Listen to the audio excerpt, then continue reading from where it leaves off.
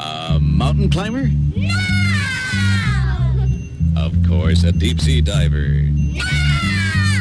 A spaceman?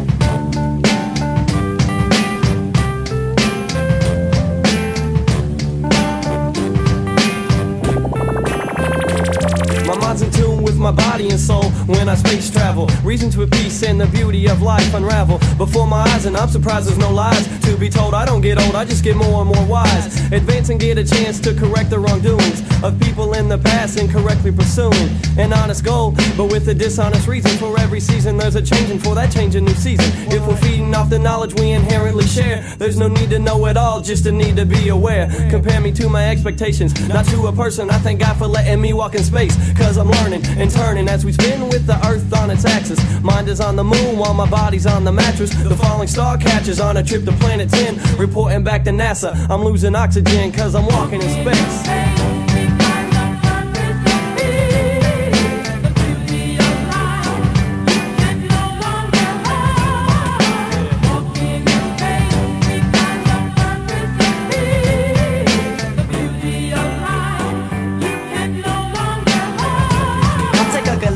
Metallic rolls through and holes and fractures. Those that oppose the peacefulness, the lethalist. Astronautics expert is the title. Hit the of cosmic harmony. While destroying the concepts of astronomy. As you're reading it, I'm seeing it and living it. With one sixth the gravity, with six times your brain capacity. My strategy can be observed through satellites. I travel light, speed ahead, fast your sight to grab the mic. I battle knights of the Empyrean and drove them to delirium. Have to work for some, that's what I've learned through my experience. Mysterious and magical. Cape Canaveral can't dock my celestial vessel, but natural beauty of life can be discovered where I'm stationed. Preoccupied with Martian life and halting space invasions, blazing through atmospheres, and I will be removing ya. If you're a disruption, then I'm setting foot on Jupiter.